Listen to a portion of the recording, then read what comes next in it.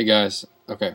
What I thought I would show you is a little tip inside of Nuke for any of you Nuke users out there.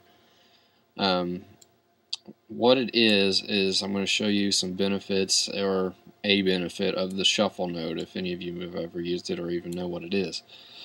So basically, what you can use the shuffle node to do is extract an alpha channel from your footage to use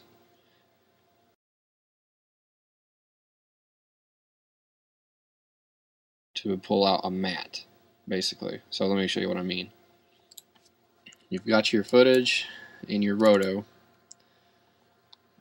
and once you do that, you're going to merge your footage.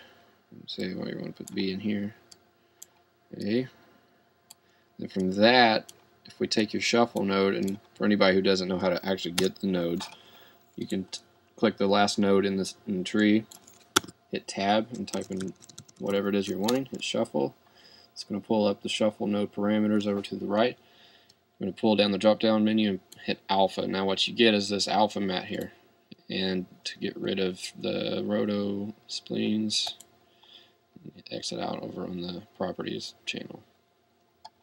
And it leaves you with this uh, matte that you can use to do whatever you need to do. Now this roto is not finished, still has a lot of work to do over the next month or so. This is for my demo reel. Um, but yeah, once you do this, you can use it to show your matte in your demo reel when you're breakdown. You could use it to composite back over.